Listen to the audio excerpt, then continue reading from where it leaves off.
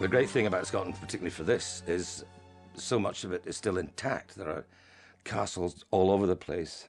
It's funny to me because I haven't been out of the country. You know, I grew up on cartoons. If I see a real castle at the time, it's like, you know, that's got to be Disneyland. You know, that's foam. You know, it doesn't seem real. When you think of castles, you think of the big Disney castle in Disneyland.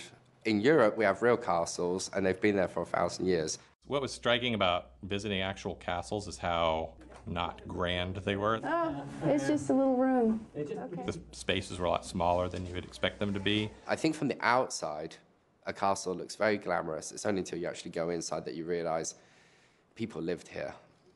That's got to be awful.